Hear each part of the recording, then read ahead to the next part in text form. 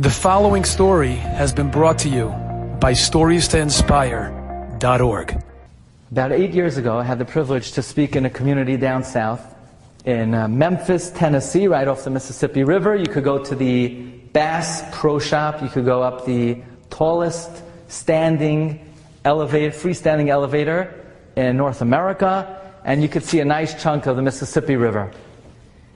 And one of the highlights of my trip, I met an elderly Yid. His name was Yeshua La Kutna. And now when I heard that name, I was shaken because Yeshua La Kutna is the name of one of the pre-war Polish Torah giants who actually my great great grandfather was a student of, and this individual who was in his 90s was named after him.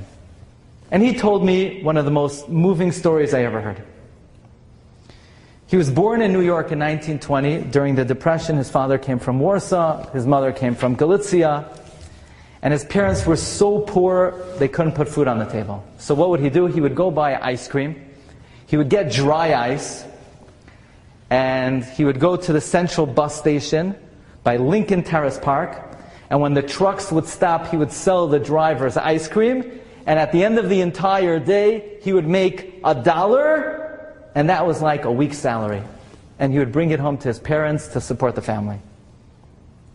He said he was poor, but his rabbi and his students in Yeshiva in Berlin were even more poor.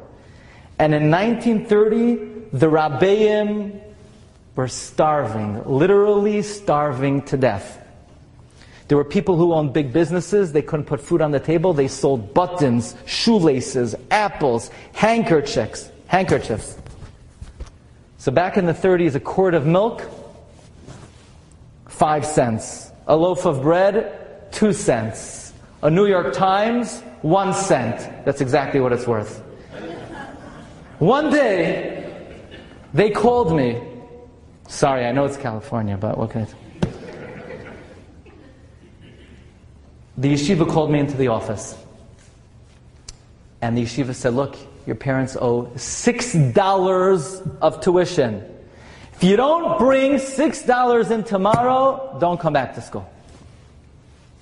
And Yeshua Kutna said, you know, that was actually the fate of many, many of the children. They were told either you bring in the old tuition or you don't come back to yeshiva. And those boys who were not allowed back to the yeshiva and they went to public school, they were lost forever. They have no Jewish descendants today. But we came home. Dad, Mom, how are we going to pay the $6? We had no silver candlesticks. There was nothing in the house but junk. Dad owned one suit. It was a bad suit. It was an ugly suit, but it was the only suit where the jacket matched the pants. So mom said, Dad, go take your suit to the pawn shop and maybe he'll give you a few bucks. So dad went to the pawn shop. He said, Sir, I need to send my kids to school. Six bucks, please. The pawn shop owner said, Six bucks, this is worth about $3.23.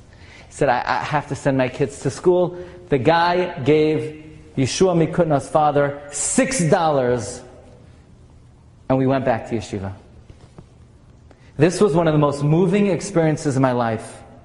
Now I and my brothers knew what Torah meant to our family.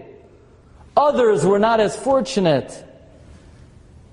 Had we not brought in the six dollars, I would not have today dozens and dozens and dozens of Torah observant great grandchildren.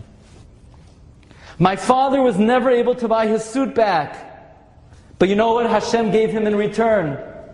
God gave him five generations of Torah observant Jews, God fearing Jews, Erlich Yidden.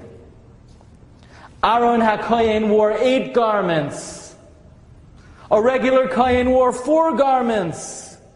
My family also had bigdei kehuna. We sold them for six dollars. It was the best six dollars we ever spent. The, just, the choices that we make the decisions that we make reverberate forever and ever and ever. Enjoyed this story? Come again. Bring a friend. Stories to inspire.org.